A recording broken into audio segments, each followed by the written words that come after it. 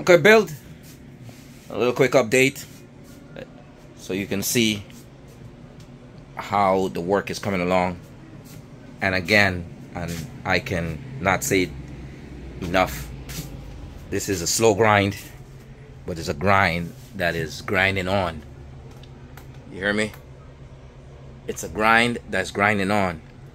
And we're gonna get there. So this is a little quick update. I'm getting into the the the purple board. Um, gonna let you know why I chose purple board as opposed to the green board a little later on. I spent a lot of time uh, getting this area ready. This is where a drawer system is going to be installed. Uh, if you remember from my earlier video, this was a little bit of a secret compartment that was locked away. Um, so what I did was I went in, I cleaned it up, I insulated it, I framed it out, and now I'm going to convert it into a usable, functional drawer system. It, that is going to be an addition to the ensuite bathroom here. Um, I'm working along, uh, getting, uh, I'm working along getting the purple board installed. And, uh, what am I looking for? What am I looking for? I'm looking for a particular, particular tool. Where did it disappear to? Where did it go? My, my, my. Oh, there it is. There it is. This tool here came in really, really handy.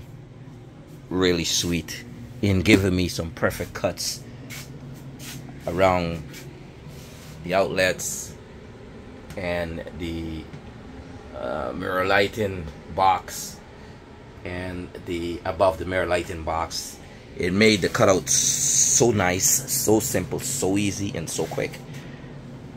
All right more to come. Us plus build we are building.